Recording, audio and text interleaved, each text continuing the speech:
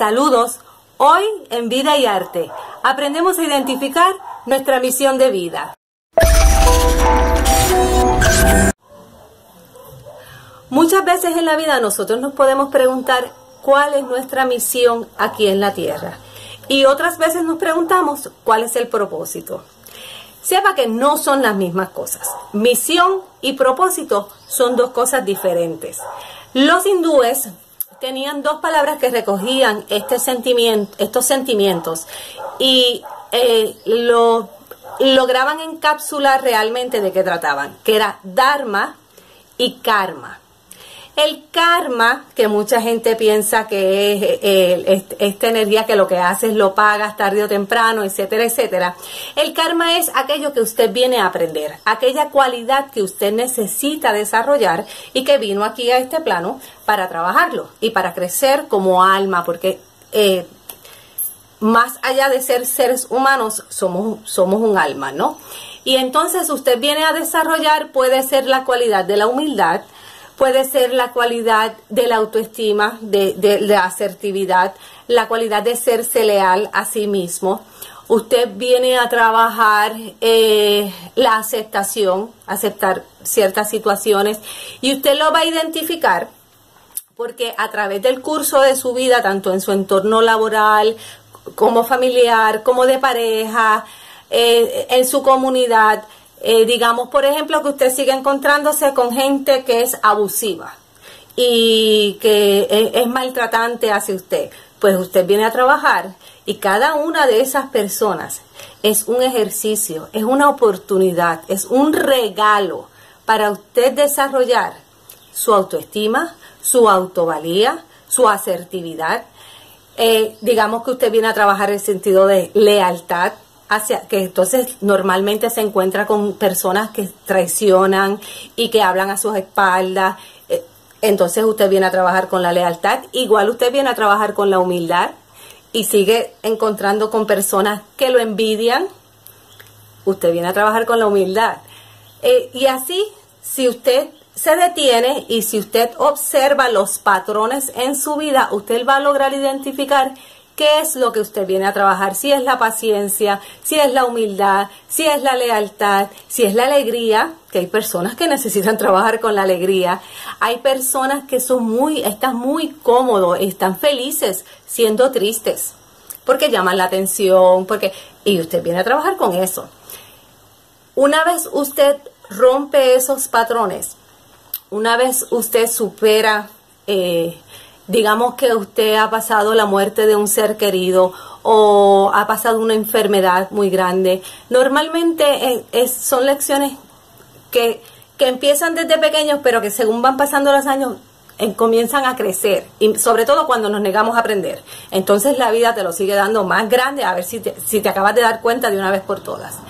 Y una vez rompes esos patrones, y una vez tienes ese despertar y te das cuenta de qué es lo que necesitas aprender y comienzas a aplicar esa lección y a cambiar tu vida, entonces es muy probable que descubras, descubras perdón, tu Dharma, que es tu misión.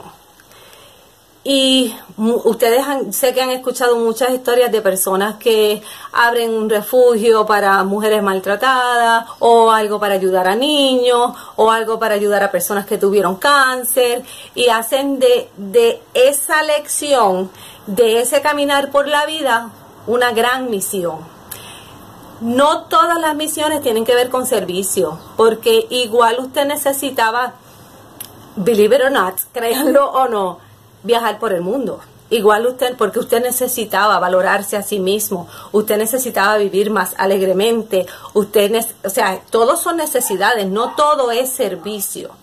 Eh, y no vale más la persona que se dedica a servir como aquella persona que, que se dedica a vivir eh, plenamente, porque lo importante es que si eso es lo que te apasiona, que si eso es lo que realmente te hace feliz, entonces lo que tú estás contribuyendo, contribuyendo al universo, a las personas que tienes alrededor, es una paz, es una alegría, es, es un agradecimiento de estar aquí. Y esa es tu aportación, es la energía, no es el servicio, no es eh, el sufrimiento, no es la alegría, el agradecimiento de estar aquí. Y entonces van a ser en ti irremediablemente la necesidad de decirle a otras personas, gracias por estar aquí, gracias por existir, tú vales, tú eres importante, tú, tú muestras aquí una diferencia. Y esa necesidad entonces es tu misión.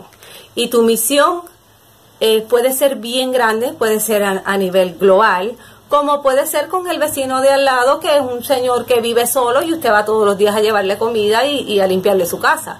Y es igual de importante esa misión que la misión de, no sé, de tener una gran sin fines de lucro. O sea, eh, eh, lo importante y lo que no tiene medida, al igual que el tiempo, es la energía y la energía que usted está dando, esa alegría, esa pasión, eso es lo que hace la diferencia en el mundo y es, es su manera de agradecer el estar aquí, es, es su manera de agradecer la lección que aprendió. Así que hay una diferencia entre el propósito y entre la misión. Una vez usted aprende su propósito, una vez usted trabaja su propósito, una vez usted lo internaliza y cambia su manera de ver las cosas, que, no es un proceso de un día a otro, entonces va a descubrir su misión y normalmente están muy relacionadas. Eh, hay personas, por ejemplo, que han estado presos muchos, muchos, muchos años por la razón que sea y cuando salen están bien claros sobre cuál es su misión en la vida. Así que eh, no siempre es necesario tocar fondo. Eh, yo digo siempre en la escuela, en la vida hay dos escuelas, dos universidades, la Universidad de la Alegría y la Universidad de la Tristeza. Y usted elige en cuál se quiere matricular. Y usted elige cómo quiere aprender, pero usted vino a aprender algo, usted vino a crecer, usted vino a desarrollarse. Espero que les haya servido de ayuda. Gracias una vez más por acompañarme aquí en Vida y Arte. Eh, gracias por sus comentarios, gracias por su patrocinio y espero que no solamente me vea a mí, sino a todos los demás compañeros. Los espero la próxima semana, el jueves a las 7, en Vida de Nosotros.